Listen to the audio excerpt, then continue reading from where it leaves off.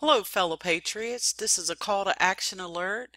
There are some things that we can do today. There's a rally that this young lady is setting up. It's on Facebook. I can't get the sound to sound right, so I'll just leave the link along with all the other links below, and you can watch the video.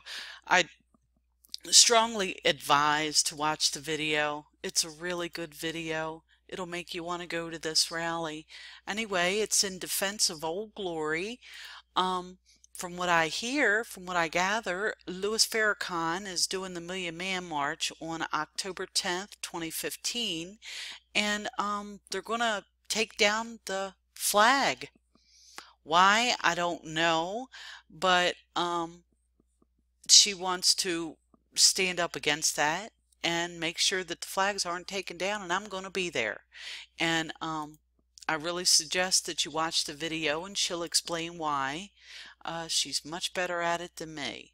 So I'll leave the link for that. I'll also leave the link for the Facebook page of um, the defense rally of when and where and you can sign up saying you're going. As you can see I'm going.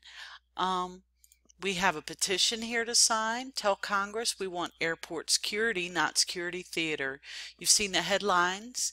In tests conducted by the Department of Homeland Security Office of the Inspector General, 67 out of 70 fake prohibited items such as bombs, guns, and other weapons made it through TSA checkpoints undetected. Sign it. Another petition. Oppose the implementation of UN Resolution 16 slash 18.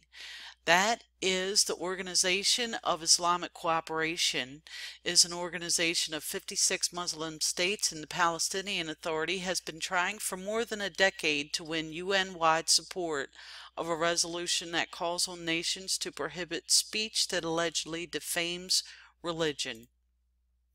Another one, tell Washington the Iran deal is a bad deal. Sign those, send them in.